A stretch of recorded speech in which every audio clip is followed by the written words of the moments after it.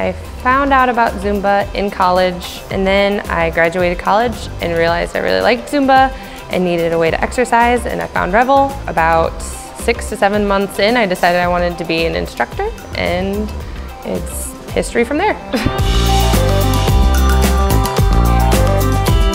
I feel like too many times we sit back worrying about all the different what ifs and we waste our time. And so I'd say just do it. You just start to get to know people in a way that you didn't think you would at a exercise facility. I feel like I've got some of the closest friends that I have now through Revel. And so I think just put those, those feelings aside and just go for it. The only thing you've got to lose is some calories. That's all.